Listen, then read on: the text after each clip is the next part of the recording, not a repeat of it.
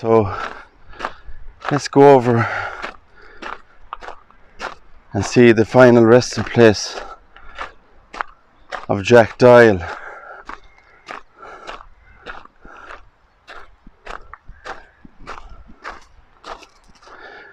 And this is the grave here of Jack Doyle.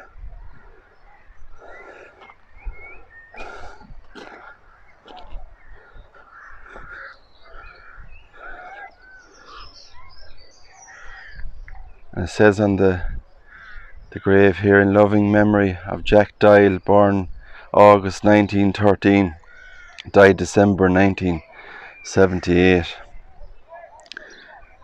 And you can see the two boxing gloves there on the grave.